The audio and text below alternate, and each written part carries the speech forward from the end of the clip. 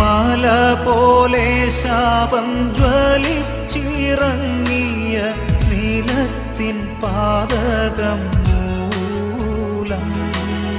മല പോലെ ശാപം ജ്വലിച്ചിറങ്ങിയ നീലത്തിൻ പാതകം മൂലം. ശാപം തലയിൽ കൊണ്ടിടാൻ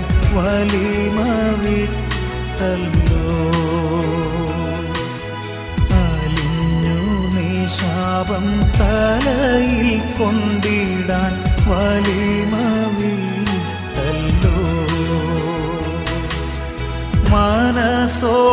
ശാപമരത്തിൽ തൂങ്ങിയ മനുവേല ദൈവജാത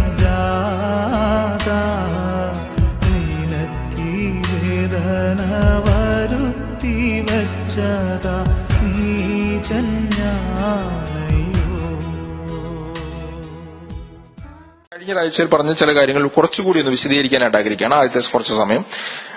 മനസ്സിലാകാത്തവർക്കും താല്പര്യമുള്ളവർക്കും മനസ്സിലാക്കാനായിട്ട് താല്പര്യമുള്ളവർക്കും മനസ്സിലാവാൻ വേണ്ടിയിട്ട് മാത്രം. മനുഷ്യന്റെ യഥാർത്ഥത്തിലുള്ള പ്രശ്നം ഞാൻ കഴിഞ്ഞ ആഴ്ചയിൽ പറഞ്ഞ അവന്റെ രോഗമല്ല അവന്റെ സാമ്പത്തികമല്ല അവന്റെ ജോലിയല്ല ഇതൊന്നും അവന്റെ റിയൽ ആയിട്ടുള്ള പ്രശ്നമല്ല. ഇതിന്റെ ഒന്നും പരിഹാരത്തിന് വേണ്ടിയിട്ടല്ല യേശു ക്രിസ്തു വന്നത്. മനുഷ്യന്റെ യഥാർത്ഥത്തിലുള്ള പ്രശ്നം പാപമാണ്. ആ പാപത്തിന്റെ പരിഹാരത്തിന് വേണ്ടിയിട്ടാണ് യേശു ക്രിസ്തു വന്നത്. മനുഷ്യന്റെ ആ പാപമാണ് ദൈവമായിട്ടുള്ള ബന്ധത്തിൽ നിന്ന് അവനെ വേർതിരിച്ചത്. അത് റെസ്റ്റോർ ചെയ്യപ്പെടുമ്പോൾ അവന്റെ ബാക്കിയുള്ള കാര്യങ്ങൾ അതിന്റെ ഓർഡറിൽ വരും. അതുകൊണ്ട് തന്നെ ദൈവം റിയലായിട്ടും ഫോക്കസ് ചെയ്യുന്നത് മനുഷ്യന്റെ റിയൽ പ്രശ്നത്തിലേക്കാണ്. അതാണ് അവന്റെ പ്രശ്നമെന്ന് അവനെ ബോധ്യപ്പെടുത്തുകയും അവനെ അതിലേക്ക് അവന്റെ ബോധ്യം പാപത്തെപ്പറ്റി ബോധ്യം വരുത്തുകയും അതിന്റെ യഥാർത്ഥ സൊല്യൂഷൻ ക്രൂശിലുണ്ട് എന്ന് അവർ മനസ്സിലാക്കി കൊടുക്കുകയും അതിലേക്ക് അവനെ കൊണ്ടുവരാൻ വേണ്ടിയിട്ടാണ് ദൈവം ശ്രമിക്കുന്നത്. പറഞ്ഞു ഞാൻ പറഞ്ഞു മനുഷ്യന്റെ റിയൽ പ്രശ്നത്തിന് മൂന്ന് തലങ്ങളുണ്ട്. ഒന്ന് അവന്റെ കഴിഞ്ഞുപോയ ചെയ്തുപോയ പാപങ്ങൾ. ഇല്ലെങ്കിൽ ഇനിയും അവൻ ചെയ്യാൻ സാധ്യതയുള്ള പാപങ്ങൾ. ഇത് അവന്റെ ഒരു റിയൽ പ്രശ്നമാണ്. അത് മാത്രമല്ല അവന്റെ പ്രശ്നം. മാത്രം അതുകൂടാതെ അവനെ ആ പാപം ചെയ്യിപ്പിക്കുന്ന പാപം പ്രൊഡ്യൂസ് ചെയ്യുന്ന പാപത്തിന്റെ സോഴ്സായിട്ടുള്ള പാപഹൃദയമുണ്ട്. അത് മാത്രമല്ല പ്രശ്നം. ആ പാപഹൃദയം മാറ്റപ്പെട്ടാലും അവനിൽ നിലനിൽക്കുന്ന പാപത്താൽ കറപ്റ്റഡായ ഒരു സോൾ ഇല്ലെങ്കിൽ ഒരു ദേഹിയുണ്ട്. ഈ മൂന്നിന്റെയും പ്രശ്നപരിഹാരത്തിന് വേണ്ടിയിട്ടാണ് യേശുക്രിസ്തു വന്നത്. ക്രൂസിൽ ദൈവത്തിന്റെ രീതിയിൽ ഇതിന് മൂന്നിനും പരിഹാരമുണ്ട്. ഇതിന് മൂന്നിനും മാനുഷിക രീതിയിൽ പരിഹാരം കാണുന്നതാണ് ഈ ഭൂമിയിലെ മതങ്ങൾ. മാനുഷ്യ രീതിയിൽ ഇതിന് മൂന്നിനും കൊടുക്കുന്ന ഓൾട്ടർനേറ്റീവ്സുകളാണ് മതങ്ങൾ പഠിപ്പിക്കുന്നത്. ഈ മതങ്ങൾ പഠിപ്പിക്കുന്ന അതേ കാര്യം തന്നെ ക്രിസ്തീയ മാർഗം എന്ന രീതിയിൽ ക്രിസ്തീയ വിശ്വാസികളും പഠിപ്പിക്കുന്നുണ്ട്. കാരണം ഇവർക്ക് ദൈവവചനം പഠിപ്പിക്കുന്ന ഇതിന്റെ റിയൽ പ്രശ്നം എവിടെയാണെന്നും അതിന്റെ ബൈബിൾ പഠിപ്പിക്കുന്ന സോഴ്സ് സൊല്യൂഷൻ എന്താണെന്നും മനസ്സിലാകാത്തതുകൊണ്ടാണ് മനുഷ്യന്റെ പാപങ്ങളുടെ പരിഹാരത്തിനായിട്ട് ലോകം പല മതങ്ങൾ പലതും പഠിപ്പിക്കുന്നുണ്ട്. മനുഷ്യന്റെ പാപങ്ങൾ പരിഹരിക്കപ്പെടാൻ ദാനധർമ്മങ്ങൾ പഠിപ്പിക്കുന്ന മതങ്ങളുണ്ട്. ഒരു വിധത്തിൽ പറഞ്ഞു കഴിഞ്ഞാൽ എല്ലാ മതങ്ങളും ഇതൊക്കെ തന്നെയാണ് പഠിപ്പിക്കുന്നത്. മനുഷ്യന്റെ പാപങ്ങൾ പരിഹരിക്കപ്പെടാൻ പുണ്യസ്ഥലങ്ങൾ സന്ദർശിപ്പിക്കാൻ പഠിപ്പിക്കുന്നവരുണ്ട്. മനുഷ്യന്റെ പാപം പരിഹരിക്കപ്പെടാൻ ഇനി പിശാചിനെ എറിയാൻ പഠിപ്പിക്കുന്നവരുണ്ട്. മനുഷ്യന്റെ പാപം പരിഹരിക്കപ്പെടാൻ ജലത്തിൽ മുങ്ങി പാപം പരിഹരിക്കപ്പെടാനായിട്ട് പഠിപ്പിക്കുന്ന മതങ്ങളുണ്ട്. ഇതെല്ലാം കർമ്മമാർഗത്തിൽ കൂടി അവന്റെ പാപങ്ങളെ പരിഹരിക്കാനായിട്ട് പഠിപ്പിക്കുന്ന മതത്തിന്റെ ദൈവത്തെ കണ്ടെത്താനുള്ള മാർഗങ്ങളാണ്. എന്നാൽ യേശു ക്രിസ്തു ക്രൂശിൽ യേശു ക്രിസ്തു പാപപരിഹാരത്തിനായി മരിച്ചു. ആ യേശു ക്രിസ്തു ഞാൻ പാപിയാണെന്നുള്ള ബോധ്യം മനസ്സിലാ ഉണ്ടായി.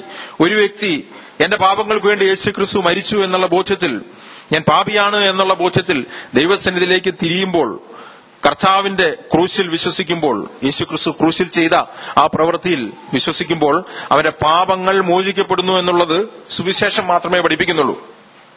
അതാണ് നമ്മൾ പറഞ്ഞ ഒന്ന് കോരിന്ത്യർ അതിന്റെ പതിനഞ്ചാമത്തെ അധ്യായത്തിൽ പൗലോസ് പറയാണ് യേശു ക്രിസ്തു നമ്മുടെ പാപങ്ങൾക്ക് വേണ്ടി മരിച്ചു അടക്കപ്പെട്ടു. തിരുവഴുത്തിൻ പ്രകാരം ഉയർത്തെഴുന്നേറ്റു.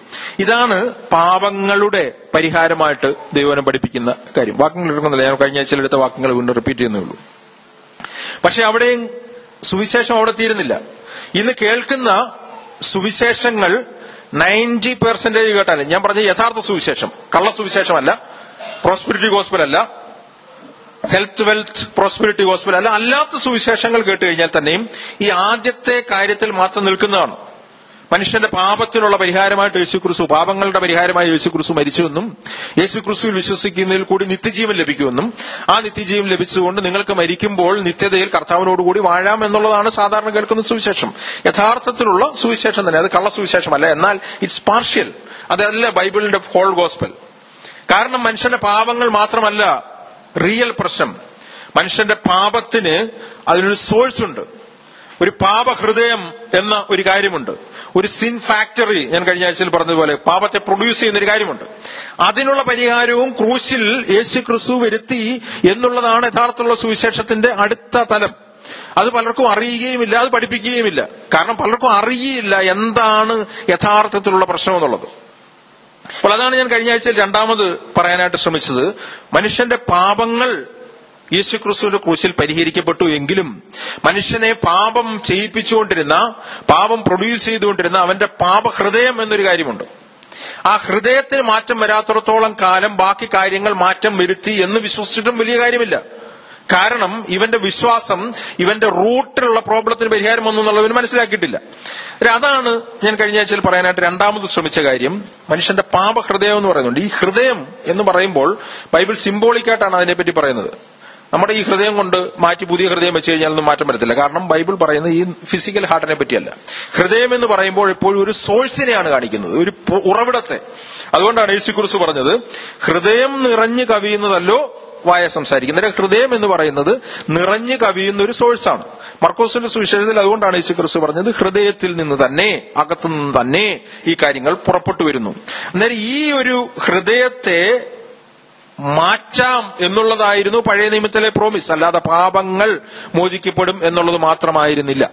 എവിടെയാണ് ഈ പാപഹൃദയം ഒരു മനുഷ്യന്റെ ഹൃദയ മനുഷ്യന്റെ ഉള്ളിൽ വന്നത്? എവിടെയാണ് ഇത് തുടങ്ങിയത്? എവിടെയാണ് ഇത് തുടങ്ങിയത് എന്ന് മനസ്സിലാക്കിയില്ലെങ്കിൽ നമുക്ക് എവിടെയാണ് ഇത് അവസാനിക്കാൻ പോകുന്നതെന്ന് മനസ്സിലാവത്തില്ല.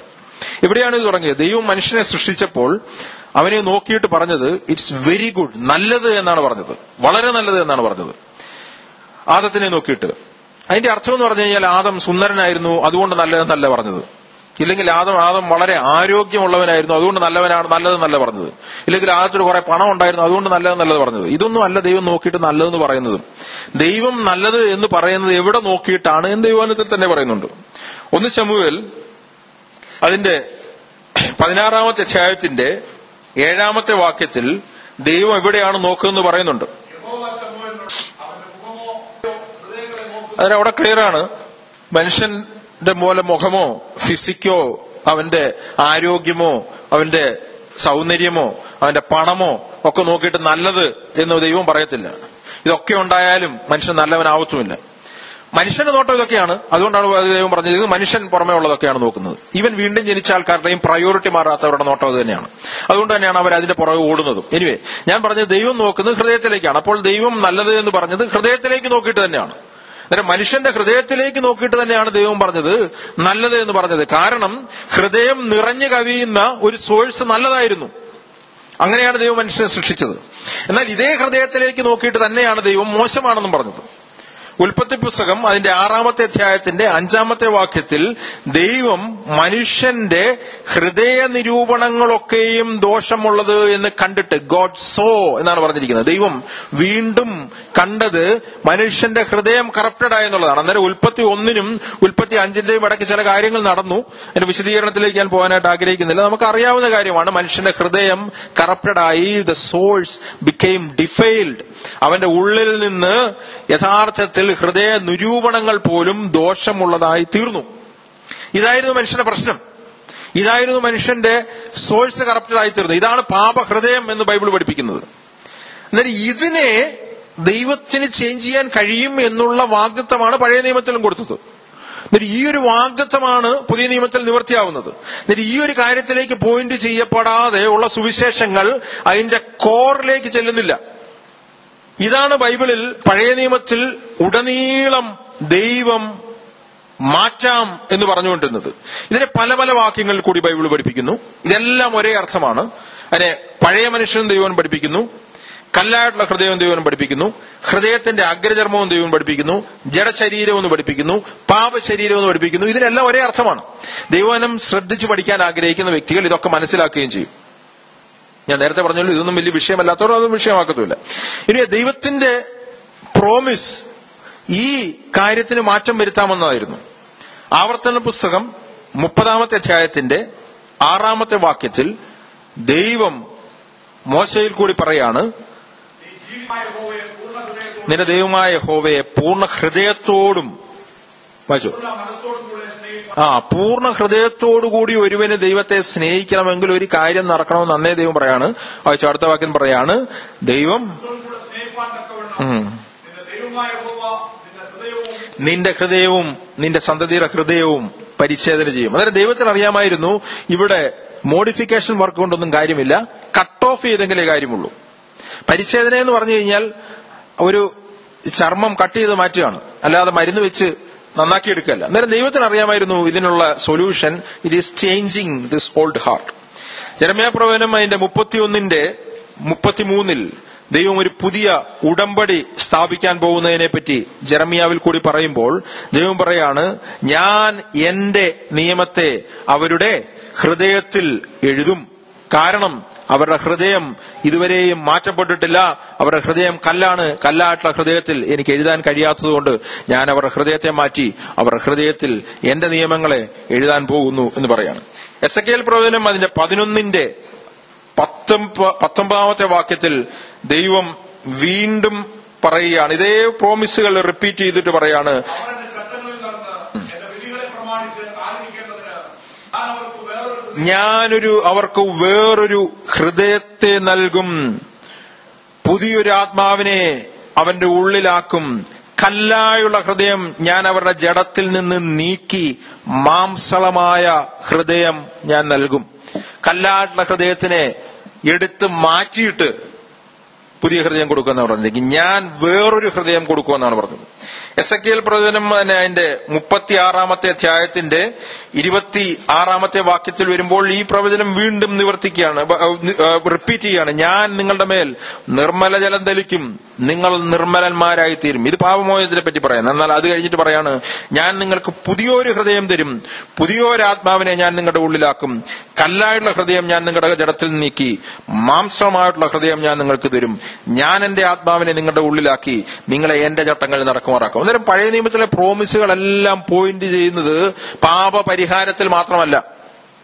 അതുകൊണ്ടാണ് ഞാൻ പറഞ്ഞത് ഇന്ന് കേൾക്കുന്ന സുവിശേഷങ്ങളിൽ നിങ്ങൾ തന്നെ ചെക്ക് ചെയ്ത് നോക്കിയോ. എത്രയിടത്ത് ഈ റൂട്ട് പ്രശ്നത്തിലേക്ക് പോയിന്റ് ചെയ്യുന്നുണ്ട്.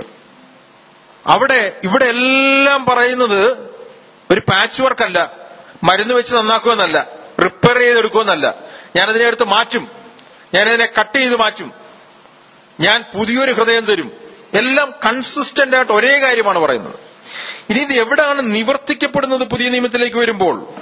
പുതിയ നിയമത്തിലേക്ക് നിവർത്തിക്കപ്പെടുന്ന കാര്യങ്ങൾ വായിക്കുമ്പോഴും ഇത് എങ്ങനെയാണ് ദൈവം നിവർത്തിച്ചതെന്ന് വളരെ വ്യക്തമായിട്ട് പറയുന്നുണ്ട്. കൊലോസി ലേഖനം രണ്ടിന്റെ പതിനൊന്ന്. നമ്മൾ കഴിഞ്ഞ ആഴ്ചയിൽ വായിച്ചതാണ്. കൊലോസ്യ ലേഖനം രണ്ടാമത്തെ അധ്യായത്തിന്റെ അവിടെ പറയാണ് അവനിൽ നിങ്ങൾക്ക് പഴയ നിയമത്തിൽ മോശയിൽ കൂടി ദൈവം പറഞ്ഞ ആ പരിച്ഛേദന യേശുക്രിസ്തുവിൽ കൂടി നടക്കുമ്പോൾ ക്രിസ്തുവിന്റെ പരിച്ഛേദനയാൽ സർക്കംസിഷൻ നടക്കുമ്പോൾ ഞാൻ വീണ്ടും പറഞ്ഞു കൂട്ടിച്ചേർത്ത് തുന്നിക്കെട്ടി സന്നാക്കിയെടുക്കുകയല്ല കട്ട് ചെയ്ത് മാറ്റപ്പെടുമ്പോൾ ജഡശരീരം ഉരിഞ്ഞു കളഞ്ഞതിനാൽ എന്നാണ് പറഞ്ഞിരിക്കുന്നത്. അവിടെ പറയാണ് ജഡശരീരം ഉരിഞ്ഞു കളയപ്പെട്ടു. എന്ന് പറഞ്ഞാൽ എടുത്തു മാറ്റപ്പെട്ടു. എന്താണ് ഈ ജഡശരീരം? എന്താണ് ഈ ഉരിഞ്ഞു കളയുന്ന ജഡശരീരം? മൂന്നാമത്തെ അധ്യായത്തിന്റെ ഒമ്പതാമത്തെ വാക്യത്തിൽ ആ ജഡശരീരം എന്താണെന്ന് പറയുന്നുണ്ട്? ഉരിഞ്ഞു കളഞ്ഞത്. അവിടെ പറയാണ് ഒമ്പതാമത്തെ വാക്യത്തിൽ പറയാണ് നിങ്ങളുടെ പഴയ മനുഷ്യനെ അവന്റെ പ്രവൃത്തികളോടുകൂടെ ഉരിഞ്ഞ് കളഞ്ഞു. അന്നേരം ജഡശരീരം എന്ന് പറയുന്നത് ഹൃദയത്തിന്റെ അഗ്രചർമ്മം എന്ന് പറയുന്നത് പഴയ ഹൃദയം എന്ന് പറയുന്നത് പഴയ മനുഷ്യൻ എന്ന് പറയുന്നത് എല്ലാം ഒരേ കാര്യമാണ്. അതിനെ ഉരിഞ്ഞു കളഞ്ഞു. അതിന് പന്ത്രണ്ടാമത്തെ വാക്യത്തിൽ രണ്ടിന്റെ പന്ത്രണ്ടിൽ പറയാണ് ഇൻ ബാപ്റ്റിസം ജലസ്നാനത്തിലെ കാര്യമല്ല ആത്മസ്നാനത്തിൽ ഇതിന്റെ പ്രദർശനമാണ് ജലസ്നാനത്തിൽ. സ്നാനത്തിൽ അവനോടുകൂടി അടക്കപ്പെടുകയും അവനെ മരിച്ചവരുടെ ഇടയിൽ നിന്ന് ഉയർത്തെഴുന്നേൽപ്പിച്ച ദൈവത്തിന്റെ വ്യാപാര ശക്തിയുടെ വിശ്വാസത്താൽ അവനോടുകൂടെ നിങ്ങൾ ഉയർത്തെഴുന്നേൽക്കുകയും ചെയ്തു. വീണ്ടും ജനനത്തിൽ നടക്കുന്നതാണ്. അവിടെ പറഞ്ഞിരിക്കുകയാണ് അവനോടുകൂടെ നിങ്ങൾ മരിച്ചു എന്ന് പറഞ്ഞാൽ നിങ്ങളുടെ പഴയ മനുഷ്യൻ മരിച്ചു എന്ന് പറഞ്ഞിരിക്കുന്നു. ഇതിന്റെ തന്നെ എക്സ്പ്ലനേഷൻ തന്നെയാണ് റോമാലേഖനം ആറാമത്തെ അധ്യായത്തിന്റെ ആറാമത്തെ വാക്യത്തിൽ ദൈവം വീണ്ടും റിപ്പീറ്റ് ചെയ്യുന്നത് പാപശരീരത്തിൽ നീക്കം വരേണ്ട പഴയ മനുഷ്യൻ ഇവിടെ പറയാണ് ഇനി റോമർ ആറിൽ ഇതിന്റെ റിസൾട്ട് ആണ് പറയുന്നത്.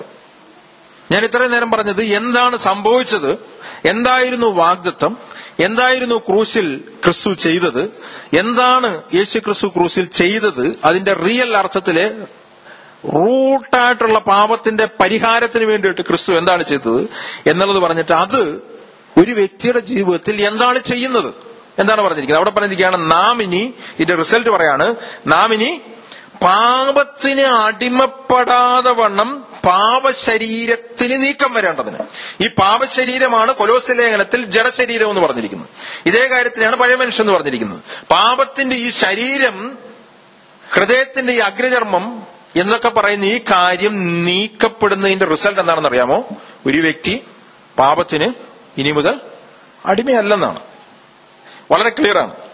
റോമാലേഖനം ആറാമത്തെ അധ്യായത്തിന് തന്നെ ഏഴാമത്തെ വാക്യത്തിൽ അത് വീണ്ടും റിപ്പീറ്റ് ചെയ്യാണ്. അങ്ങനെ മരിച്ചവൻ പാപത്തിൽ നിന്ന് സ്വതന്ത്രനായിരിക്കുന്നു.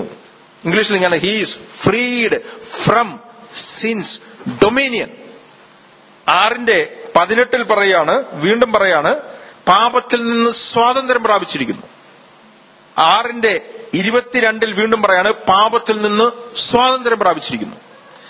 പ്രാപിക്കും എന്നല്ല ഒരു വ്യക്തി ക്രൂശിൽ യേശു ക്രിസ്തു ചെയ്തതിൽ കൂടി he's delivered from the power of sin ഇത് ബൈബിൾ പഠിപ്പിക്കുന്ന ട്രൂത്ത് ആണ്.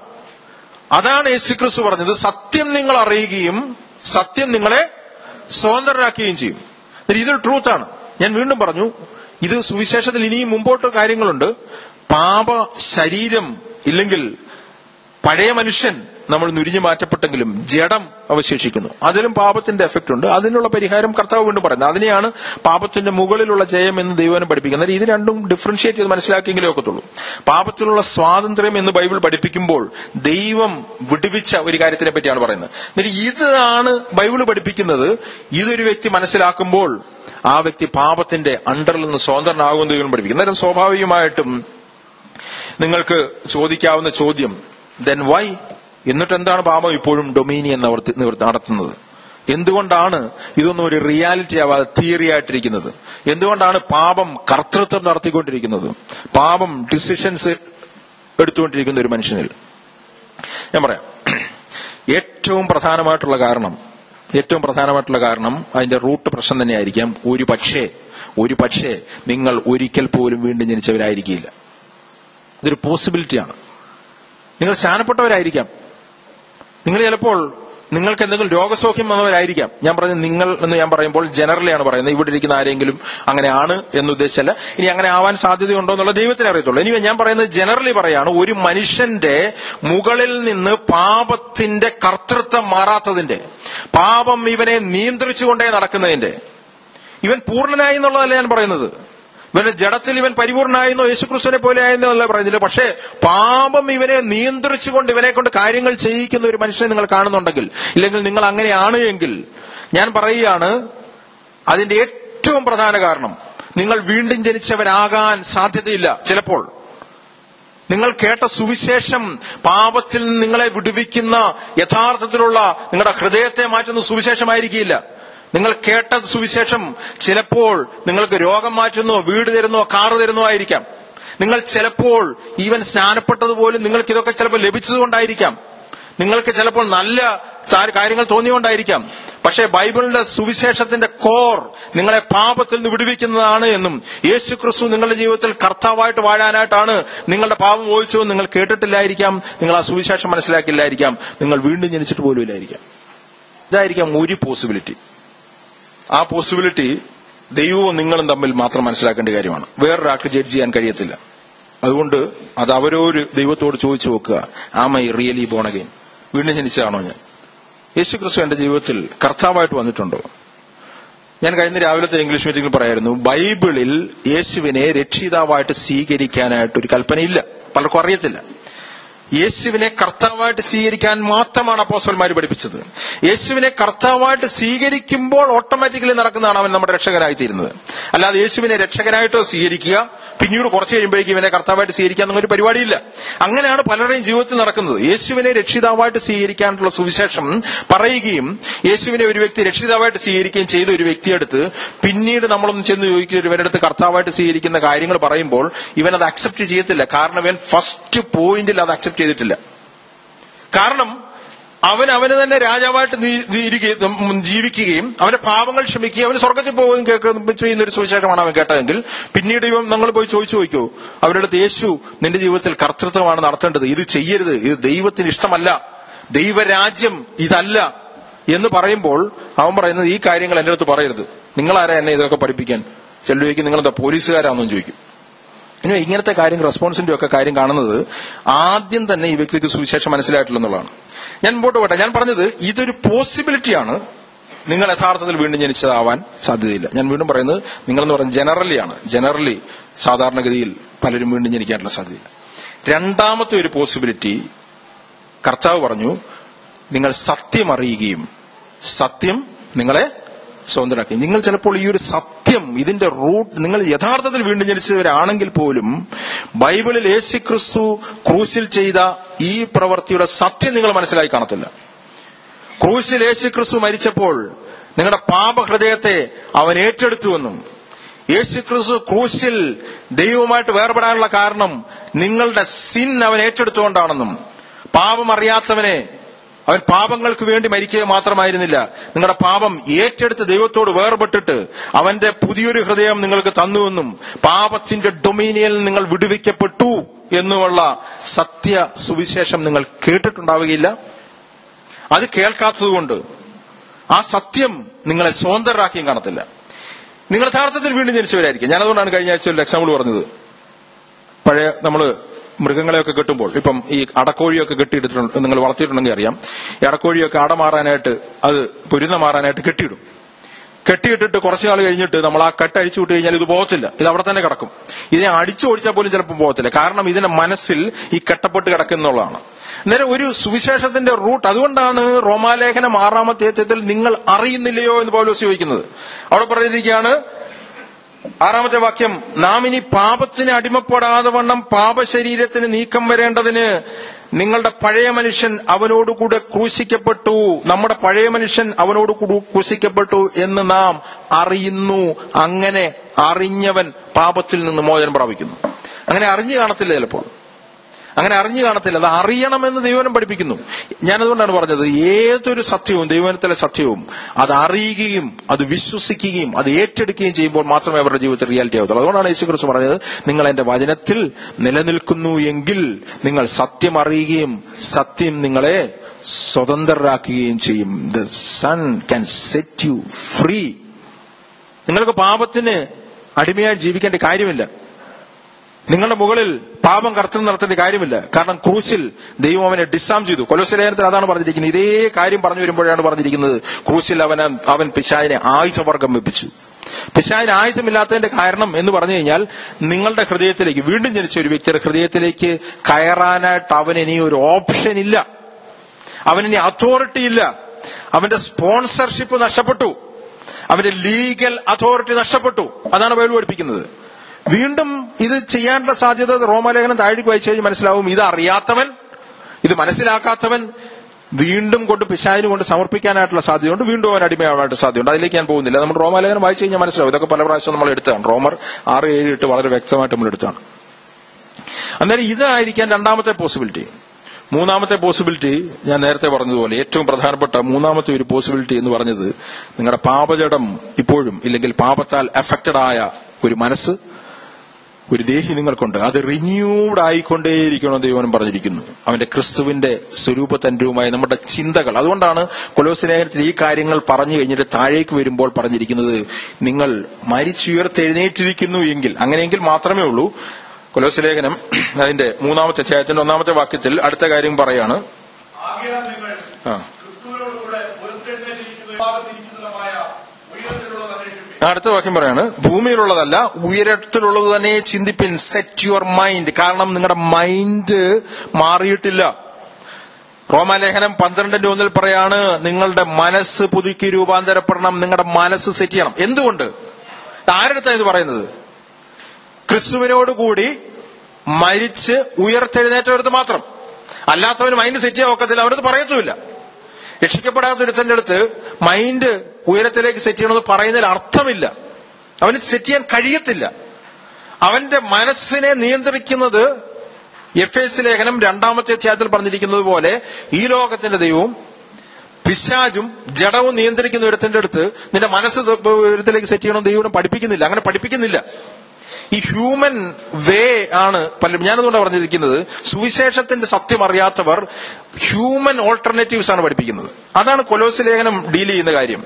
യഥാർത്ഥത്തിലുള്ള സുവിശേഷം പറയുകയും യേശുക്രിസ്തു ചെയ്ത കാര്യം യഥാർത്ഥത്തിൽ പഠിപ്പിക്കുകയും അതിൽ കൂടി ഒരു മനുഷ്യനെ സ്വതന്ത്രനാക്കുകയും ദൈവം എന്ന തലയുമായിട്ട് അവനെ കണക്റ്റഡാക്കുകയും ആ തലയാൽ അവൻ നിയന്ത്രിക്കപ്പെടുകയും ചെയ്യപ്പെടണമെന്ന് പറയുന്നതിന് പകരം അതിന് പകരം ഒരുപാട് സെറ്റ് ഓഫ് റൂൾസ് പഠിപ്പിക്കുകയാണ്. ഞാൻ പറഞ്ഞ ആദ്യം പാപപരിഹാരത്തിന് ഈ ലോകത്തിലെ മതങ്ങൾ പഠിപ്പിക്കുന്ന നിയമങ്ങളുണ്ട്. പാപം ബഹിപ്പെടാൻ കർമ്മവാറം പഠിപ്പിക്കുന്നുണ്ട്.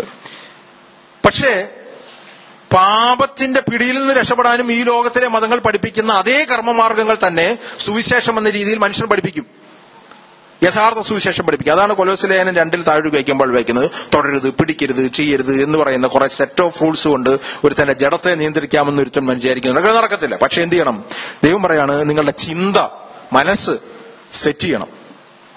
മനസ്സ് ഉയരത്തുള്ള ചിന്തിക്കണം. അത് ചിന്തിക്കാൻ ആൾക്കാർക്ക് തയ്യാറുള്ള താഴേക്ക് തന്നെ വീണ്ടും ചിന്തിച്ചുകൊണ്ട് നടക്കുന്ന മനുഷ്യനാണ്. അവന്റെ മുകളിൽ വീണ്ടും ഇതേ കാര്യങ്ങൾ തന്നെ നടക്കുന്നു. എന്നിട്ട് ഈ മൂന്ന് കാര്യങ്ങളിൽ യേശു ക്രിസ്തു ചെയ്ത ഈ മൂന്ന് കാര്യങ്ങളിൽ ഇതിനു വേണ്ടിയിട്ടാണ് സുവിശേഷത്തിന്റെ റിയൽ മിസ്റ്ററി ദൈവനം പഠിപ്പിക്കുന്നത്. മൂന്നാമത്തെ കാര്യം കൊലോസ്ലേഖനത്തിൽ പറയാണ് അവരോട് ജാതികളുടെ ഇടയിൽ ഈ മർമ്മത്തിന്റെ മഹിമാധനം ഇന്നത് എന്നറിയിപ്പാൻ ദൈവത്തിന് ഇഷ്ടമായി. ആ മർമ്മം മഹത്വത്തിന്റെ പ്രത്യാശയായ ക്രിസ്തു നിങ്ങളിൽ ഇരിക്കുന്നു എന്നുള്ളതാണ്. ഞാൻ അന്നേരം പറഞ്ഞു ഈ മൂന്ന് കാര്യങ്ങൾ നടന്നതാണ്. എന്താണ്? ഒന്ന് നിങ്ങളുടെ പാപങ്ങൾ ക്ഷമിക്കപ്പെട്ടു. പാപങ്ങൾ ക്ഷമിക്കപ്പെട്ടു. ഈ ലോകത്തിന്റെ മതങ്ങൾ പഠിപ്പിക്കുന്ന രീതിയല്ല സുവിശേഷത്തിന്റെത്. രണ്ടാമത് പാപത്തിന്റെ സൊല്യൂഷനായിട്ട് നിങ്ങളുടെ പഴയ മനുഷ്യൻ നിങ്ങളുടെ പാപ ഹൃദയം ദൈവം മാറ്റി. അതും ഈ ബൈബിൾ പഠിപ്പിക്കുന്ന സുവിശേഷം പഠിപ്പിക്കുന്നതാണ്. അതാണ് അതിന്റെ അടിസ്ഥാനത്തിൽ നിന്ന് വെടിവെക്കപ്പെടുന്നത്. അല്ലാതെ നിങ്ങൾ കുറെ ട്രൈ ചെയ്ത് കഴിഞ്ഞാൽ നടക്കത്തില്ല. മൂന്നാമത് നിങ്ങളുടെ പാപജടത്തിന് ഇല്ലെങ്കിൽ നിങ്ങളുടെ പാപത്താൽ കറപ്റ്റഡായ ആ ദേഹിയെ ശുദ്ധീകരിക്കാനായിട്ട് ഇല്ലെങ്കിൽ അതിന് മുകളിൽ ജയിക്കാനായിട്ട് നിങ്ങളുടെ ഉള്ളിൽ ദൈവത്തിന്റെ പരിശുദ്ധാത്മാവ് ഇല്ലെങ്കിൽ യേശു ക്രിസ്തു തന്നെ നിങ്ങളുടെ ഉള്ളിൽ വന്നു. ആ യേശു ക്രിസ്തുവിനെ നിങ്ങൾ അനുസരിക്കുമ്പോൾ ഉയരത്തിലേക്ക് നിങ്ങൾ സെറ്റ് മനസ്സ് തെറ്റിയുമ്പോൾ ആത്മാവിനെ അനുസരിച്ച് നടക്കുമ്പോൾ നിങ്ങളുടെ പാപത്തിന്റെ ശക്തിയുടെ മുകളിൽ നിന്ന് അനുദിനം നിങ്ങൾക്ക് വിജയിക്കാൻ കഴിയുമെന്നാണ് ദൈവം പഠിപ്പിക്കുന്നത്. ഇതാണ് സിമ്പിൾ ഗോസ്പൽ ഇതാണ് ബൈബിൾ പഠിപ്പിക്കുന്നത്. ഇത് മനസ്സിലാകാത്ത വ്യക്തികൾ ഇത് പഴയ പറയത്തില്ല. അതിന് പകരമാണ് പല പല ഓൾട്ടർനേറ്റീവുകൾ പഠിപ്പിക്കുന്നത്. എന്നിട്ട് ഞാൻ പറഞ്ഞു ഈ മൂന്നാമത്തെ കാര്യം ഞാൻ ഒന്നുകൂടി ഒരു വിശദീകരിക്കാൻ പറഞ്ഞു. ഈ പഴയ മനുഷ്യനും പാപഹൃദയവും തമ്മിലുള്ള വ്യത്യാസം പലർക്കും അറിയത്തില്ല. പലരും ഇതിനെപ്പറ്റി നിങ്ങൾ ചെക്ക് ചെയ്തോ? നിങ്ങൾക്കിത് പലർക്കും ഇത് പഠിപ്പിക്ക ക്ലിയർ ആയിട്ട് പഠിപ്പിക്കുന്നില്ല.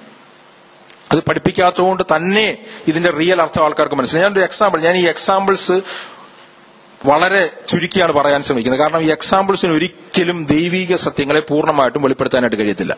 എങ്കിലും മനസ്സിലാക്കാനായിട്ട് ചില കാര്യങ്ങൾ പറയാണ്. ഈ പാപ ഹൃദയവും മനുഷ്യന്റെ ജഡവും തമ്മിലുള്ള വ്യത്യാസം എന്താണ്? ഞാൻ ഇതിനു പറഞ്ഞിട്ടുള്ളതാണ്. നിങ്ങളൊരു ഹാർഡ് ഡിസ്ക് കമ്പ്യൂട്ടർ ഹാർഡ് ഡിസ്കിനെ പറ്റി ചിന്തിച്ചു നോക്കുക. ഒരു കമ്പ്യൂട്ടർ ഹാർഡ് ഡിസ്ക് നമ്മളുടെ മനുഷ്യന്റെ ഹോൾ പേഴ്സണാലിറ്റി ആണെങ്കിൽ അല്ലെങ്കിൽ മനസ്സും ഹൃദയവുമാണെങ്കിൽ പാപഹൃദയം എന്ന് പറയുന്ന ആ ഹാർഡ് ഡിസ്കിലേക്ക് ഒരു വൈറസ് കയറുകയാണെന്ന് വിചാരിക്കുക. ആ വൈറസ് കയറിയിട്ട് ആ വൈറസ് ഇങ്ങനെ വൈറസിനെ പുറപ്പെ- പുറപ്പെടുവിച്ചുകൊണ്ടേയിരിക്കുകയാണ്. ഇങ്ങനെ പാപം പുറത്തുകൊണ്ട് വന്നുകൊണ്ടേയിരിക്കുകയാണ് ഉള്ളിൽ നിന്ന്. അതാണ് യഥാർത്ഥത്തിൽ വീണ്ടും ജനിക്കുന്നതിന് മുമ്പുള്ള മനുഷ്യന്റെ അവസ്ഥ. അവന്റെ ഉള്ളിൽ പാപം എന്നുള്ള ആ ഒരു സോഴ്സ് ഉണ്ട്. ഇല്ലെങ്കിൽ പാപഹൃദയം എന്ന് പറയുന്ന വൈറസ് കയറി വൈറസ് ഇവന്റെ ഹാർഡ് ഡിസ്കിനെ മുഴുവൻ കറപ്റ്റഡ് ആക്കിക്കൊണ്ടേയിരിക്കുകയാണ് ഇതിന്റെ സൊല്യൂഷൻ ഇവന്റെ ഹൃദയത്തെ ക്ലീൻ ചെയ്യുക എന്നുള്ളതല്ല. അല്ലെങ്കിൽ അവന്റെ മനസ്സിനെ എന്തെങ്കിലും ഹാർഡ് ഡിസ്ക് ക്ലീനർ കൊണ്ട് ക്ലീൻ ചെയ്യുക എന്നുള്ളതല്ല. ഒരു ആന്റിവൈറസ് എന്നിട്ട് ഈ ഹാർഡ് ഡിസ്കിന്റെ അകത്ത് കടത്തിരിക്കുന്ന വൈറസിനെ തന്നെ നശിപ്പിക്കണം. ഇതാണ് ക്രൂശിൽ നടന്നത്. യേശു ക്രിസ്തു ക്രൂശിലെ മരണത്തിൽ കൂടി ആ സോഴ്സിനെ കട്ട് ചെയ്തു ആ വൈറസിനെ നശിപ്പിച്ചു. പക്ഷെ വൈറസ് നശിച്ചെങ്കിലും ഈ വൈറസാൽ അഫക്റ്റഡ് ആയ ഒരു ഹാർഡ് ഡിസ്ക് ശേഷിക്കുന്നു. ആ ഹാർഡ് ഡിസ്ക് ആണ് ക്ലീൻ ചെയ്യപ്പെടേണ്ടത് അതാണ് യഥാർത്ഥത്തിൽ അനുദിനം നടന്നുകൊണ്ടിരിക്കേണ്ടത്. അവിടെയാണ് മനുഷ്യൻ ഉയരത്തിലേക്ക് മനുഷ്യൻ മനസ്സ് സെറ്റ് ചെയ്യേണ്ടത്. അവിടെയാണ് അവന്റെ മനസ്സ് പുതുക്കി രൂപാന്തരപ്പെടുന്നത്. അവിടെയാണ് ബൈബിളിലെ ഓൾമോസ്റ്റ് എല്ലാ ഉപദേശങ്ങളും നിൽക്കുന്നത്. അവിടെയാണ് കർത്താവ് പറഞ്ഞിരിക്കുന്ന പല കൽപ്പനകളുടെയും റിയൽ അർത്ഥം വരുന്നത് ഈ മൂന്നാമത്തെ പാട്ടിലാണ്. അവിടെയാണ് യേശു ക്രിസ്തു പറഞ്ഞത് ക്രൂശ് എടുത്തുകൊണ്ട് കർത്താവിനെ അനുഗ്രഹി അനുഗമിക്കാൻ പറയുന്ന കാര്യം അവിടെയാണ് വരുന്നത്. അവിടെയാണ് ക്രിസ്തുവിൽ അബൈഡ് ചെയ്യാനായിട്ട് കർത്താവ് പറഞ്ഞ കാര്യം പറഞ്ഞത്. അവിടെയാണ് കൊമ്പ് മുന്തിരിവള്ളിയിൽ വസിക്കുന്ന പോലെ വസിക്കാൻ പറയുന്നത്. ഇതാണ് കണ്ടിന്യൂസ് ആയിട്ട് നടക്കേണ്ടത്. ഈ ആദ്യത്തെ രണ്ട് കാര്യങ്ങൾ നടന്ന വ്യക്തിയുടെ ജീവിതത്തിലെ മൂന്നാമത്തെ കാര്യം നടക്കത്തുള്ളൂ. ആദ്യത്തെ രണ്ട് കാര്യങ്ങളും റിയാലിറ്റിയാണ് എന്ന് മനസ്സിലാക്കിയ ഒരു കാര്യം വ്യക്തിയുടെ ജീവിതത്തിൽ മൂന്നാമത്തെ കാര്യം അതിന്റെ എഫക്റ്റ് ഉണ്ടാവുകയുള്ളൂ. ആദ്യത്തെ രണ്ട് കാര്യവും മനസ്സിലാക്കാത്തവൻ മൂന്നാമത്തെ കാര്യം ചെയ്യാൻ കഴിയത്തില്ല. കാരണം ഈ രണ്ട് കാര്യങ്ങൾ നടന്നിരിക്കുന്നു. ക്രൂശിൽ യേശു ക്രിസ്തു ചെയ്തെടുത്തു എന്ന് മനസ്സിലാക്കുന്ന ഒരു മനുഷ്യൻ മനസ്സിലാക്കുകയാണ്. അതുകൂടാതെ അവന്റെ ഉള്ളിൽ ദൈവം വന്ന് വസിക്കുന്നു. യേശു ക്രിസ്തു എവിടെയാണ് വസിക്കുന്നത്? യേശു ക്രിസ്തു വസിക്കുന്നത് ഈ പഴയ കേടായ പാപം വമിക്കുന്ന ഹൃദയത്തിലല്ല. എവിടെയാണ് വസിക്കുന്നത്? യോഗ എഫ് എസ് ലേഖനം. രണ്ടാമത്തെ അധ്യായത്തിന്റെ മൂന്നാമത്തെ അധ്യായത്തിന്റെ പതിനാറാമത്തെ വാക്യം പതിനേഴാമത്തെ വാക്യവും വായിക്കാം.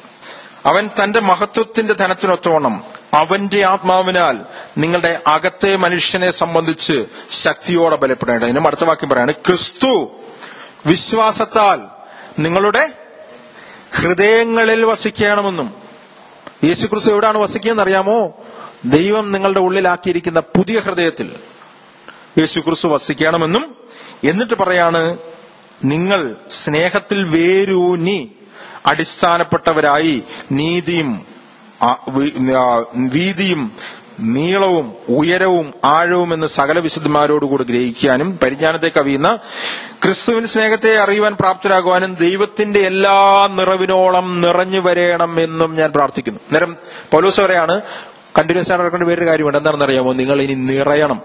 യേശു ക്രിസ്തു നിങ്ങളുടെ ഹൃദയത്തിൽ വന്നു. ഈ യേശു ക്രിസ്തുവിന് നിങ്ങളുടെ ജീവിതത്തിൽ നിറയാനായിട്ട് കൊടുക്കണം. നിറയാനായിട്ട് നിങ്ങൾ ഏൽപ്പിക്കണം അതാണ് സുവിശേഷത്തിന്റെ റിയൽ മെസ്സേജ് അതിന് പകരം കുറെ എക്സ്റ്റേണൽ റൂൾസും ഡിസിപ്ലിനും പഠിപ്പിച്ചിട്ട് കാര്യമില്ല. ഞാൻ പറഞ്ഞു ഈ എക്സ്റ്റേണൽ റൂൾസിനും ഡിസിപ്ലിനും അതിന് സ്ഥാനമുണ്ട്. അതിന്റെ സ്ഥാനം മാറ്റി ഉപയോഗിക്കരുതെന്നാണ് ഞാൻ പറഞ്ഞത്. യേശുക്രിസ്തുവിന് നിങ്ങൾ കംപ്ലീറ്റ് ആയിട്ട് അവൈലബിൾ ആയിട്ട് കൊടുക്കണം. യേശുക്രിസ്തു നിങ്ങളുടെ ജീവിതത്തിൽ നിറയണം. പരിശുദ്ധാത്മാവിന്റെ നിറവിൽ നിങ്ങൾ ജീവിക്കണം. ഇതാണ് ലേഖനങ്ങളിൽ പൗലോസ് അപ്പോസ്റ്റന്മാർ പറയുന്നത്. എഫ് എസ് എൽ അഞ്ചിന്റെ പതിനെട്ട് പറയാണ് be filled with holy spirit അത് നിങ്ങൾ ചെയ്യാത്തപ്പോൾ നിങ്ങൾ ചെയ്യുന്നത് പരിശുദ്ധാത്മാവിനെ ദുഃഖിപ്പിക്കുകയാണ്. നിങ്ങളുടെ ഉള്ളിലുള്ള പരിശുദ്ധാത്മാവിനെ ദുഃഖിപ്പിക്കുകയാണ്. യേശു ക്രിസ്തുവിനെ ഞെരിക്കുകയാണ്. നിങ്ങളുടെ ജഡം നിങ്ങൾ ഡൊമീനിയൻ എടുക്കുകയാണ് വീണ്ടും. അങ്ങനെയുള്ള വ്യക്തികൾ ഈ ലോകത്തിൽ ദൈവത്തിന്റെ പേര് പറഞ്ഞു. ഇല്ലെങ്കിൽ യേശു ക്രിസ്തുവിന്റെ റെപ്രസെന്റേറ്റീവ് ആവുന്നതിന് പകരം വീണ്ടും ഒരു കാരിക്കേച്ചറായിട്ട് നിൽക്കുന്നു. അവരുടെ ജീവിതത്തിൽ ദൈവരാജ്യത്തിന്റെ ഫലങ്ങളും കാണത്തില്ല. ദൈവരാജ്യത്തിന്റെ സന്തോഷം സമാധാനം നീതി ഇതൊന്നും വലിയൊരു വരത്തില്ല. കാരണം ഇതിന്റെ പ്രോബ്ലം എന്താണെന്ന് അറിയാമോ? പ്രോബ്ലം ഈ പറഞ്ഞിരിക്കുന്ന യഥാർത്ഥ പ്രശ്നങ്ങൾ തന്നെയാണ്. ഈ പ്രശ്നങ്ങൾ ഒരു വ്യക്തിയുടെ ജീവിതത്തിൽ റിയലായിട്ട് ഐഡന്റിഫൈ ചെയ്യുകയും മനസ്സിലാക്കുകയും പരിഹരിക്കപ്പെടുകയും ചെയ്യുമ്പോൾ സുവിശേഷം അതിന്റെ വർക്ക് ചെയ്യും. സുവിശേഷം വർക്ക് ചെയ്യുന്ന സുവിശേഷം തന്നെയാണ്. നിങ്ങളുടെ ജീവിതത്തിൽ വർക്ക് ചെയ്യുന്നില്ല എന്ന് പറഞ്ഞുകൊണ്ട് വർക്ക് ചെയ്യാത്തതല്ല. അനേകരുടെ ജീവിതത്തിൽ വർക്ക് ചെയ്ത സുവിശേഷമാണ് ലിവിങ് ടെസ്റ്റിമണീസ് ആണ് അതിനുള്ളത്. ഒരു സുവിശേഷത്തിന് അതിന്റെ റിയൽ എഫക്റ്റ് ഉണ്ട്. ആ സുവിശേഷം ദൈവശക്തിയാണെന്നാണ് പൗലോസ് പറഞ്ഞത്. പക്ഷെ ആ സുവിശേഷം റിയലായിട്ട് പറയാനായിട്ട് കഴിയണം മനസ്സിലാക്കാനായിട്ട് കഴിയണം പഠിപ്പിക്കാനായിട്ട് കഴിയണം. അതാണ് ഇന്ന് ഏറ്റവും ചുരുക്കപ്പെട്ടിരിക്കുന്നത്. ഞാൻ പോട്ട് പോട്ടെ. ഈ മൂന്നാമത്തെ കാര്യം ആണ് ഈ രണ്ട് കാര്യങ്ങൾ. ഞാൻ കഴിഞ്ഞ ആഴ്ചയിൽ പറഞ്ഞിരുന്നു. ബൈബിളിൽ രണ്ട് സെറിമണീസ് ഇല്ലെങ്കിൽ രണ്ട് റിച്വൽസ് എന്ന് പറയാമെങ്കിൽ രണ്ട് കാര്യങ്ങളാണ് ദൈവം മനുഷ്യന് കൊടുത്തിട്ടുള്ളത്. വീണ്ടും ജനിച്ച ദൈവമക്കൾക്ക്. അത് ഒന്ന് സ്നാനവും ഒന്ന് കർത്തൃമേശയുമാണ്. സ്നാനം ഒരിക്കലായിട്ട് മാത്രമുള്ളതാണ്. കാരണം പഴയ മനുഷ്യനെ ഒരിക്കലായിട്ട് മാത്രമാണ് ക്രൂശിക്കുന്നത്. സ്നാനം വീണ്ടും നമ്മൾ ചെയ്യാത്തതിന്റെ കാര്യം ഒരിക്കൽ മാത്രം നടക്കുന്ന കാര്യമാണ്. അത് ഒരിക്കൽ മാത്രം നടക്കുന്നതാണ്. എന്നാൽ കർത്തൃമേശ എന്തിനെയാണ് റെപ്രസെന്റ് ചെയ്യുന്നത്? രണ്ടാമത്തെ സെറമണിയായിട്ടുള്ള കർത്തൃമേശ എന്തിനെയാണ് റെപ്രസെന്റ് ചെയ്യുന്നത്? ഇത് പലർക്കും അറിയില്ല. പലർക്കും അറിയാത്തത് കാര്യങ്ങളാണ് ഇത്. ഒന്നാമത്തേത് സ്നാനത്തിന്റെ അർത്ഥം അറിയാത്ത വ്യക്തികളുണ്ട്. അങ്ങനെ വ്യക്തികൾ സ്നാനപ്പെടും. സ്നാനപ്പെട്ടാൽ അവന്റെ മുകളിൽ ആ പഴയ മനുഷ്യൻ തന്നെ കർത്തൃത്വം നടത്തും കാരണം പഴയ മനുഷ്യൻ പോലും ക്രൂശിക്കപ്പെടാതെ. പഴയ മനുഷ്യൻ പോലും പാപജടം ഉരിഞ്ഞു കളയാതെ. ഇല്ലെങ്കിൽ ജഡശരീരം പാപത്തിന്റെ സോഴ്സ് പോലും മാറാതെ ഒരു വ്യക്തി സ്നാനപ്പെട്ടാൽ അത് വെറും കുളിയാണ്. അങ്ങനെ വ്യക്തികൾ യഥാർത്ഥത്തിൽ വീണ്ടും ജനിക്കാത്ത വ്യക്തികളാണ്. അങ്ങനെയുള്ളവർ സ്നാനപ്പെടുമ്പോൾ അത് വെറും റിച്വലാണ് ഒരു പ്രയോജനമില്ലാത്ത റിച്വൽ പക്ഷെ യഥാർത്ഥത്തിൽ വീണ്ടും ജനിച്ചൊരു വ്യക്തി ഈ ഒരു ട്രൂത്ത് അവൻ മനസ്സിലാക്കിയില്ലെങ്കിൽ പോലും ശരിക്കും അപ്പോസൽ പ്രവർത്തിയൊക്കെ വായിച്ചു കഴിഞ്ഞാൽ ആദിമ സഭയിൽ വീണ്ടും ജനിച്ചവരെ അധികം താമസിക്കാതെ തന്നെ സ്നാനപ്പെടുത്തിയിരുന്നു. കാരണം എന്താണെന്ന് അറിയാമോ? അത് മനസ്സിലാക്കി തരുന്ന ഒരു സത്യം. ആദിമ സഭയിൽ ഈ സത്യം അവർ പഠിപ്പിച്ചിരുന്നു എന്നുള്ളത് തന്നെയാണ്. കാരണം രക്ഷിക്കപ്പെടുമ്പോൾ തന്നെ ഈ ഒരു സത്യം അതിനോട് കൂടെ തന്നെ അവർ പഠിപ്പിച്ചതുകൊണ്ടാണ് അവർ ആ ഉടനെ തന്നെ സ്നാനം കൊടുത്തിരുന്നത് എന്നാൽ ഇത് ഒരു റിയാലിറ്റിയാണ്. പക്ഷെ അത് നടക്കാതെ സ്നാനപ്പെടുത്തുന്നവരുടെ ജീവിതത്തിൽ അത് റിയാലിറ്റി ആവത്തില്ല ഒരു റിച്വൽ ആവത്തുള്ളൂ അപ്പോൾ കർത്തൃമേശയുടെ എന്താണ് എന്തിനാണ് റെപ്രസെന്റ് ചെയ്യുന്നത് നമുക്ക് ചില വാക്യങ്ങൾ വായിക്കാം. യോഹന്നാന്റെ സുവിശേഷം ആറാമത്തെ അധ്യായം. യോഹന്നാന്റെ സുവിശേഷത്തിന്റെ ആറാമത്തെ അധ്യായത്തിന്റെ തുടക്കം എന്ന് പറയുന്നത് യേശു ക്രിസ്തു ചെയ്യുന്ന വലിയൊരു അത്ഭുത പ്രവൃത്തിയാണ്. അഞ്ചപ്പം കൊണ്ട് അയ്യായിരം പേരെ ഭൂഷിപ്പിക്കുന്ന അത്ഭുത പ്രവൃത്തി. അയ്യായിരം പേർക്കും ദൈവത്തിന്റെ അത്ഭുതം കണ്ടു. ദൈവത്തിന് ഡെലിവറൻസ് ലഭിച്ചു. നമ്മുടെ ഇപ്പോഴത്തെ ഭാഷയിൽ പറഞ്ഞു കഴിഞ്ഞാൽ ഈ അയ്യായിരം പേർക്ക് കാറ് കിട്ടി വീട് കിട്ടി അവരുടെ ആവശ്യങ്ങളെല്ലാം നടന്നു അവരുടെ വയറ് നിറഞ്ഞു ചാപ്പാടടിച്ചു ഇവരെല്ലാവരും പോയി. ഈ അയ്യായിരം പേര് അല്ലെ അയ്യായിരം പേര് മുഴുവനാണോന്ന് അറിയത്തില്ല. ഇതിൽ അനേകം പേര് എന്ത് ചെയ്യുന്നറിയാമോ? അവിടെ വെച്ച് നിർത്തിയില്ല. ഭക്ഷണം കഴിച്ചിട്ട് തിരിച്ചു പോയില്ല.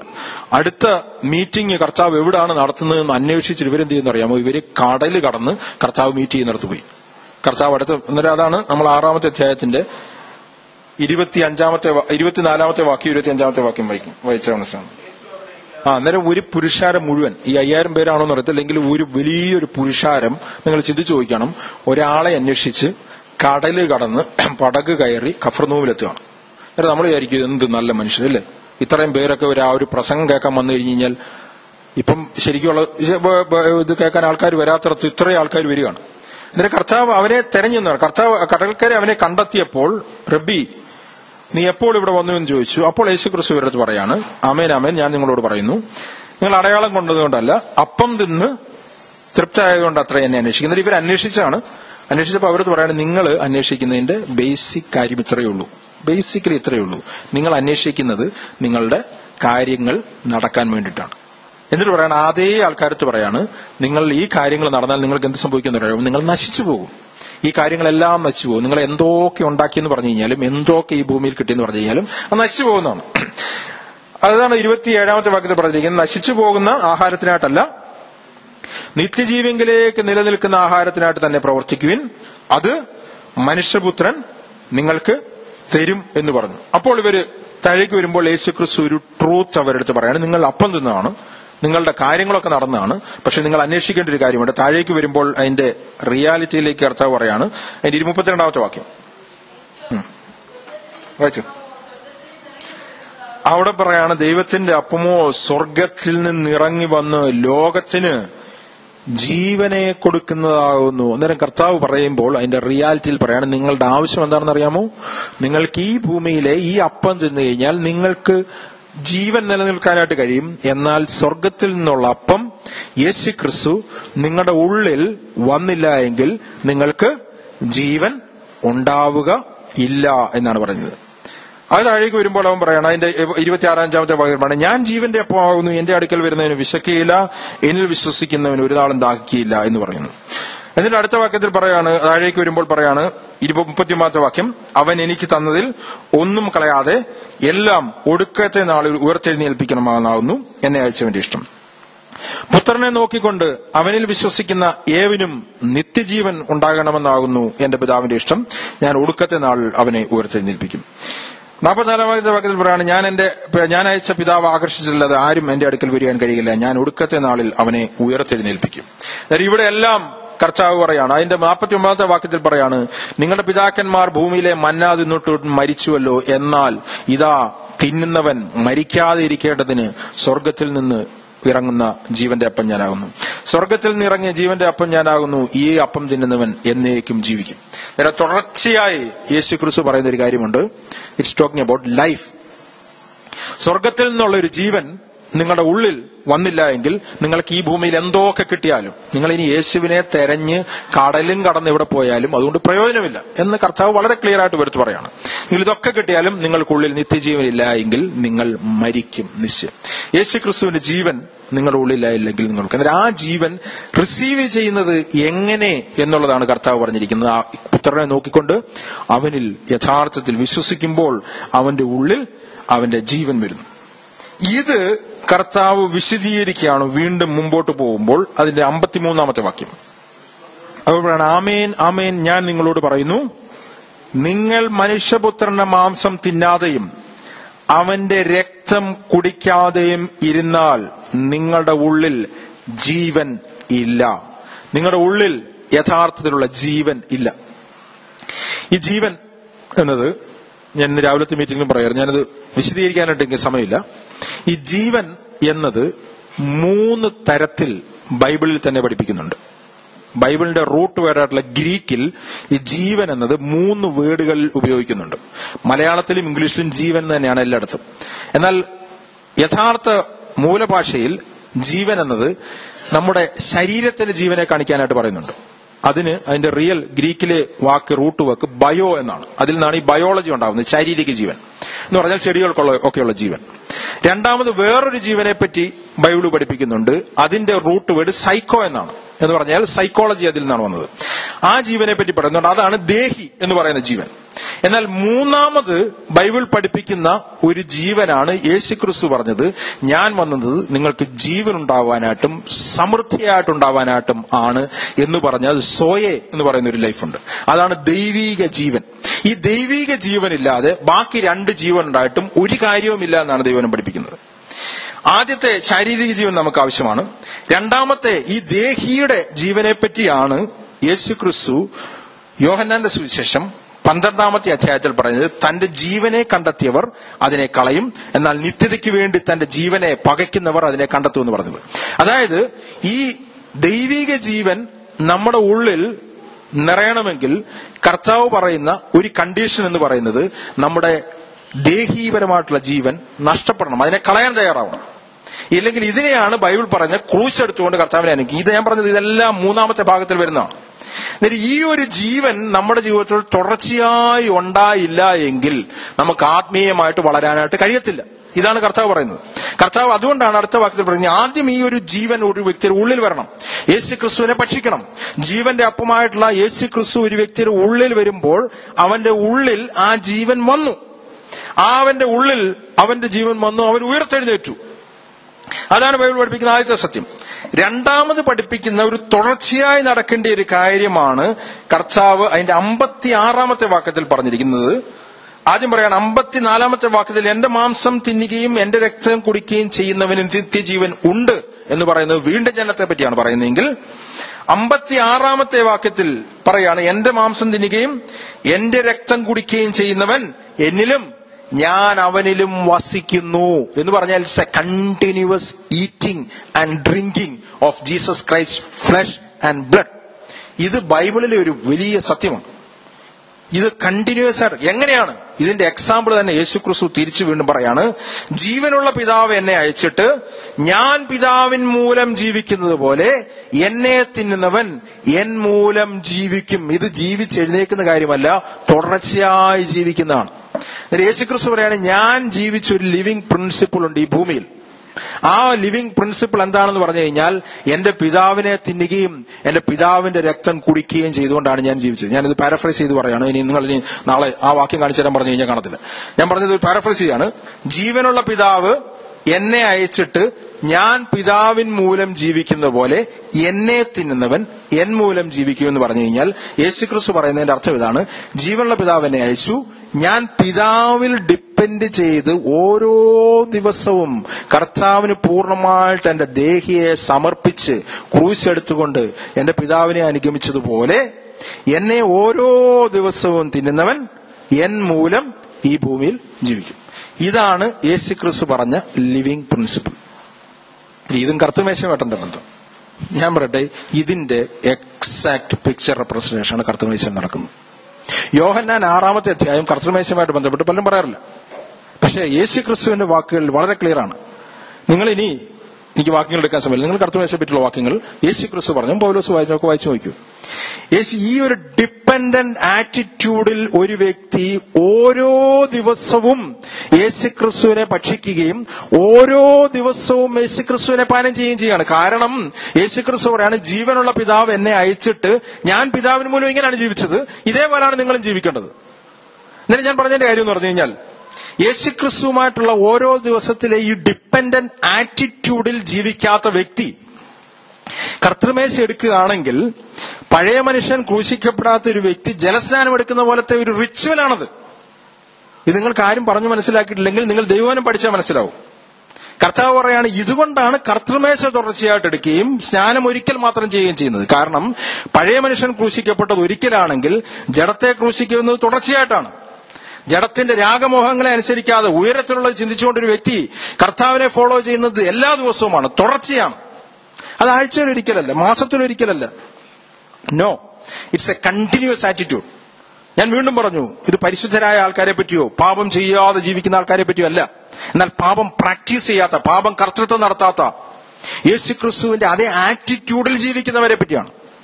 ഇതേ ആറ്റിറ്റ്യൂഡിൽ ജീവിക്കണമെന്നാണ് ഫിലിപ്പേ ലേഖനത്തിൽ പൗലോസ് പറഞ്ഞിരിക്കുന്നത് അന്നേരം ഈ ആറ്റിറ്റ്യൂഡ് ഇല്ലാത്തൊരു വ്യക്തി ആറ്റിറ്റ്യൂഡ് ഇല്ലാത്തൊരു വ്യക്തി കർത്തൃമേശ എടുക്കുമ്പോൾ ഇറ്റ്സ് എ റിച്വൽ കർത്താവ് പറയാണ് ജീവനുള്ള പിതാവ് എന്നെ അയച്ചിട്ട് ഞാൻ പിതാവിൻ മൂലം ജീവിച്ചതുപോലെ എന്നെ തിന്നുന്നവൻ എൻ മൂലം ജീവിക്കും. ഓരോ ദിവസവും എന്നെ ഭക്ഷിക്കുന്നവൻ ഓരോ ദിവസവും എന്നെ പാനം ചെയ്യുന്നവൻ എന്റെ ശക്തിയിൽ ജീവിക്കും. ഞാൻ ചോദിക്കട്ടെ നിങ്ങൾക്ക് എത്ര ദിവസം ഭക്ഷണം കഴിക്കാതെ ജീവിക്കാൻ കഴിയും? എത്ര ദിവസം കഴിക്കാനായിട്ട് കഴിയും? ജീവിക്കാൻ കഴിയും. ജീവിക്കുന്ന ജീവിതം എന്ന് പറഞ്ഞു കഴിഞ്ഞാൽ എഴുന്നേക്കാൻ കൂടുതൽ ശക്തിയില്ലാത്ത ജീവിതമായിരിക്കും. ക്രിസ്ത്യാനികളുടെ ഇന്നത്തെ ജീവിതത്തിന്റെ ലക്ഷണം കണ്ടു കഴിഞ്ഞാൽ അറിയാം. ഒരു വ്യക്തി യേശു ക്രിസ്തുവിലാണോ ജീവിക്കുന്നത് എന്നുള്ള ആ വ്യക്തിയുടെ ഇരിപ്പും നടപ്പും കണ്ടറിയാം. ആ വ്യക്തിയെടുത്ത് അരമണിക്കൂർ സംസാരിച്ചറിയാം. Is he living by Christ or not അവൻ പെർഫെക്റ്റ് ആയിട്ട് കാണത്തില്ല. അവന്റെ ജീവിതത്തിൽ വീണ്ടും പ്രശ്നങ്ങൾ കാണും. പക്ഷേ he will be walking with Christ അവൻ യേശു ക്രിസ്തുവിന്റെ ആറ്റിറ്റ്യൂഡിലായിരിക്കും ജീവിക്കുന്നത്. അവന്റെ ഉള്ളിൽ ജീവജലത്തിന്റെ നദികൾ ഏതായാലും വരും. എന്നാലും ഞാൻ പറഞ്ഞത് ഈ ഒരു ആറ്റിറ്റ്യൂഡ് ബൈബിൾ പഠിപ്പിക്കുന്നതാണ്. ഈ ഒരു ആറ്റിറ്റ്യൂഡിൽ ജീവിക്കുമ്പോൾ യേശു ക്രിസ്തു എന്നിൽ ജീവിക്കുന്നു. അതുകൊണ്ടാണ് യേശു ക്രിസ്തു യോഹന്നാന്റെ സുവിശേഷം ആ, പതിനാറാമത്തെ അധ്യായത്തിലേക്ക് ഇവർ പറഞ്ഞിരിക്കുന്നത് ഞാൻ ജീവിക്കുന്നുകൊണ്ട് നിങ്ങളും ജീവിക്കും. എന്നെ തിന്നുന്നവൻ എൻ മൂലം ജീവിക്കും. എന്നാൽ ഇതൊരു കണ്ടിന്യൂസ് കാര്യമാണ്. സ്നാനം ഒരിക്കലാണെങ്കിൽ കർത്തമേശ തുടർച്ചയായിട്ടുള്ളതാണ്. ഈ ആറ്റിറ്റ്യൂഡിൽ ജീവിക്കുന്ന ഒരു വ്യക്തിക്ക് ആ ആറ്റിറ്റ്യൂഡിനെ പ്രദർശിപ്പിക്കുന്ന ഒരു റിച്വൽ എന്ന് നമുക്ക് പറയാനെങ്കിൽ സെറമണി എന്ന് പറയാനെങ്കിൽ അതാണ് കർത്തമേശ. അപ്പോൾ ചോദ്യം കർത്തമേശ എത്ര പ്രാവശ്യം എടുക്കാം? അപ്പോസ്റ്റൽ പ്രവൃത്തി വായിച്ചു നോക്കി അവരെങ്ങനെയാണ് ആയിരുന്നു ചെയ്തത്? ഇതിനൊരു റൂൾസ് റെഗുലേഷൻസ് ഒന്നുമില്ല. ഇന്ന ഇന്ന ദിവസം ഇത്ര പ്രാവശ്യം ചെയ്യണമെന്നില്ല. പക്ഷെ ഒരു ആറ്റിറ്റ്യൂഡ് വായിച്ചാൽ മനസ്സിലാവും അവരത് ആദ്യ സമയങ്ങളിൽ എല്ലാ ദിവസവും ചെയ്തിരുന്നു.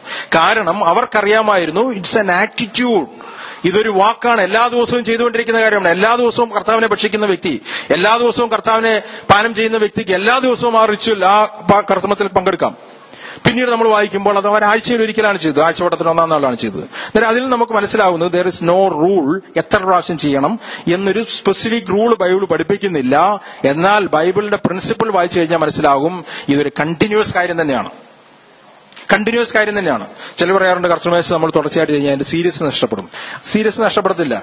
കാരണം കർത്താവിന്റെ കൂടെ നടക്കുന്ന വ്യക്തിക്ക് ഒരിക്കലും അതിന്റെ സീരിയസ് നഷ്ടപ്പെടത്തില്ല. അങ്ങനെ സീരിയസ് നഷ്ടപ്പെടുമെങ്കിൽ നമ്മൾ മാസത്തിൽ ഒരിക്കൽ പ്രാർത്ഥന നടത്തണം. കാരണം തുടർച്ചയായിട്ട് പ്രാർത്ഥിച്ചാൽ സീരിയസ് നഷ്ടപ്പെടുമെങ്കിൽ. അതൊന്നും കാരണങ്ങളല്ല. അതൊന്നും കാരണങ്ങളല്ല. അതൊക്കെ മാനുഷിക കാരണങ്ങളാണ്. ഞാൻ അതിലേക്ക് പോകുന്നില്ല. പക്ഷേ ഞാൻ പറഞ്ഞത് ഇതിന് പെർട്ടിക്കുലർ റൂളോ പെർട്ടിക്കുലർ റെഗുലേഷനോ ഇല്ല. എങ്കിലും ബൈബിളിന്റെ പഠിപ്പീരിൽ നമ്മൾക്ക് മനസ്സിലാകുന്നത് ഇത് വെളിപ്പെടുത്തുന്നത് ഒരു വ്യക്തി യേശു ക്രിസ്തുമായിട്ടുള്ള ആറ്റിറ്റ്യൂഡിൽ നടക്കുന്ന ആ വ്യക്തിയുടെ ജീവിതത്തെ തന്നെയാണ്. ഞാൻ അന്നേരം പറഞ്ഞത് നമ്മൾ നമുക്ക് പറ്റുന്ന ഒരു തെറ്റ് നമ്മൾ റിച്വലിന് റിയാലിറ്റിയേക്കാൾ കൂടുതൽ പ്രാധാന്യം കൊടുക്കും. ആ റിച്വലിന് വലിയ പ്രാധാന്യം കൊടുക്കും ആ റിയാലിറ്റി നമ്മുടെ ജീവിതത്തിൽ നഷ്ടപ്പെടും. സ്നാനം എന്ന റിച്വലിന് നമ്മൾ അതിമിത പ്രാധാന്യം കൊടുത്തു കഴിഞ്ഞാൽ അതിന്റെ പുറകിലുള്ള റിയാലിറ്റി ഒരു വ്യക്തിക്ക് മനസ്സിലാവത്തില്ല. അതുപോലെ തന്നെ ഈ റിച്വലിനാണ് നമ്മൾ പ്രാധാന്യം കൊടുക്കുന്നതെങ്കിൽ നമ്മൾ അതിന്റെ റിയാലിറ്റി മനസ്സിലാവത്തില്ല. അപ്പോൾ നമ്മൾ എന്ത് ചെയ്യുന്ന പറയാമോ ഈ കർത്തൃമേശ വരുമ്പോഴേക്കും നമ്മൾ അങ്ങ് വിശുദ്ധരാവാൻ ശ്രമിക്കും. കാര്യം എന്ന് പറഞ്ഞാൽ നമ്മൾ വിചാരിക്കുന്ന പറഞ്ഞാൽ ഈ കർത്തൃമേശ അടുത്ത് വരുമ്പോൾ നമ്മൾ അങ്ങ് വിശുദ്ധരാവണം.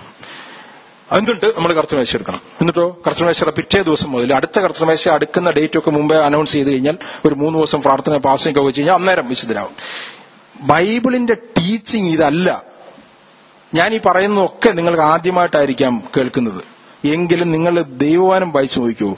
കർത്താവ് പറയാണ് ജീവനുള്ള പിതാവ് എന്നെ അയച്ചിട്ട് ഞാൻ പിതാവിൻ മൂലം കണ്ടിന്യൂസ് ആയി ജീവിക്കുന്നത് പോലെ എന്നെ തിന്നുന്നവൻ എൻ മൂലം ജീവിക്കും.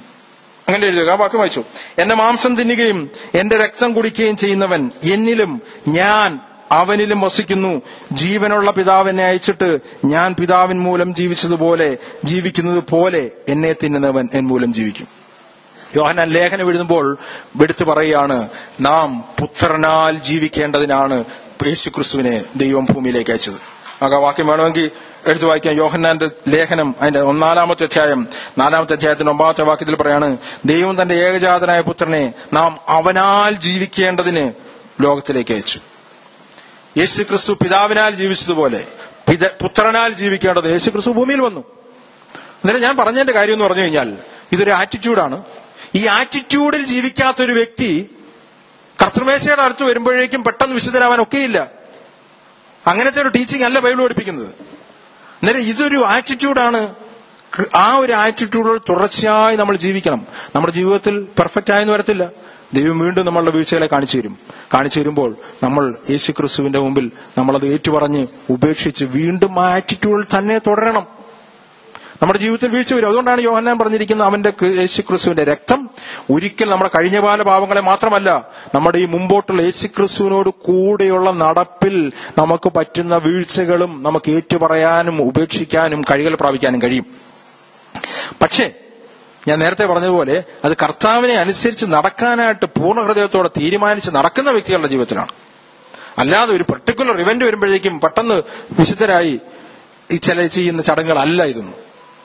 ഞാൻ എന്റെ വാക്കുകൾ നിർത്തരുത് ഞാൻ കഴിഞ്ഞ ആഴ്ച പറഞ്ഞ കാര്യങ്ങൾ തന്നെ ഒന്നുകൂടി വിശദീകരിച്ചു എന്ന് മാത്രമേ ഉള്ളൂ. ദൈവനത്തിലെ ചില സത്യങ്ങൾ ബൈബിൾ കൺസിസ്റ്റന്റ് ആണ്. ആ ട്രൂത്തുകളാണ് ഒരു വ്യക്തിയുടെ കണ്ണിനെ തുറക്കുന്നത്. ആ സത്യമാണ് ഒരു വ്യക്തിയെ സ്വതന്ത്രനാക്കുന്നത്. ആ സത്യം മനസ്സിലാക്കുമ്പോൾ അതിനനുസരിച്ചിട്ട് ആ വ്യക്തി സ്വതന്ത്രനാകും. ബൈബിൾ ഏറ്റവും പ്രധാനപ്പെട്ട ചില സത്യങ്ങളാണ് ഞാൻ പറഞ്ഞത്. ഒന്ന് യേശു ക്രിസ്തു എന്റെ പാപങ്ങൾക്ക് വേണ്ടി മരിച്ചു. രണ്ട് എന്റെ പാപഹൃദയത്തെ യേശു ക്രിസ്തു ക്രൂശിൽ ഏറ്റെടുത്തു. എന്റെ പഴയ മനുഷ്യൻ അവനോട് ക്രൂ- ക്രൂശിക്കപ്പെട്ടു. പാപത്തിന്റെ അടിമത്തത്തിൽ നിന്ന് സ്വതന്ത്രനാക്കാനായിട്ടാണ് യേശു ക്രിസ്തു ചെയ്തത്. മൂന്നാമത് അനുദിന ജീവിതത്തിൽ യേശു ക്രിസ്തുവിനെ ഭക്ഷിച്ചുകൊണ്ടും യേശു ക്രിസ്തുവിനെ പാനം ചെയ്തുകൊണ്ടും ആത്മാവിനെ അനുസരിച്ചും ആത്മാവിനെ അനുസരിച്ചും ഉയരത്തിൽ മനസ്സ് സെറ്റ് ചെയ്തുകൊണ്ടും ഒരു വിശ്വാസി ഈ ഭൂമിയിൽ ജീവിക്കണമെന്നാണ് ദൈവം ആഗ്രഹിക്കുന്നത്. അതിന്റെ പബ്ലിക് റെപ്രസെന്റേഷൻ തന്നെയാണ് കർത്തൃമേശ അത് യേശു യേശു ക്രിസ്തുവിന്റെ മരണത്തെ നമ്മൾ ഓർക്കുന്നു. യേശു ക്രിസ്തു മരണത്തെ ഓർക്കുന്നു. ഉയർത്തെഴുന്നേൽപ്പ് ഓർക്കുന്നു. യേശു ക്രിസ്തുവിനെ ഭക്ഷിച്ച് പാനം ചെയ്യുന്നതിനെ നമ്മൾ ഓർക്കുന്നു. ആ ആറ്റിറ്റ്യൂഡിൽ ജീവിക്കാത്ത വ്യക്തികൾ അത് ചെയ്യുന്നതുകൊണ്ട് അർത്ഥമില്ല. പക്ഷെ ആറ്റിറ്റ്യൂഡ് ജീവിക്കുന്ന വ്യക്തികളുടെ ജീവിതത്തിൽ കുറവുകളുണ്ടെങ്കിലും അത് കർത്താവിന്റെ സന്നിധിയിൽ സെറ്റ് ചെയ്തിട്ട് നമുക്ക് മുമ്പോട്ട് പോകാനായിട്ട് കഴിയും. മനസോടെ ശാപമരത്തിൽ തൂങ്ങിയ മനുവേല ദൈവ മനസോടെ ശാപമരത്തിൽ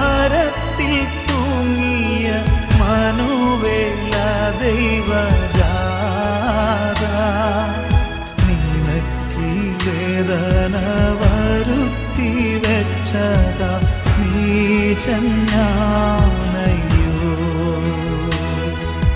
നിനക്കീ വേദന വരുത്തി വെച്ചതാ നീചഞ്ഞാനയ്യോ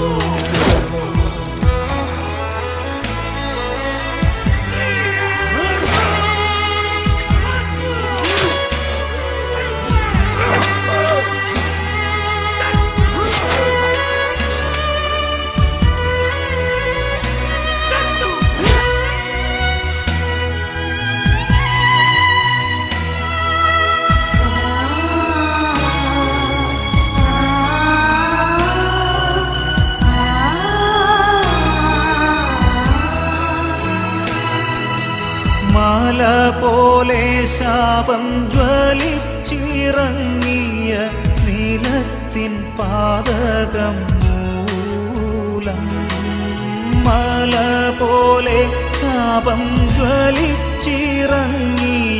നീലത്തിൻ പാതകം മൂലം അലിഞ്ഞു നീ ശാപം തലയിൽ കൊണ്ടിടാൻ വലിമ വിട്ടല്ലോ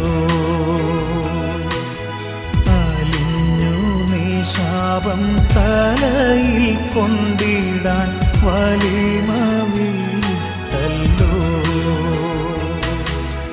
മനസ്സോടെ ശാപമരത്തിൽ തൂങ്ങിയ മനുവേല ദൈവം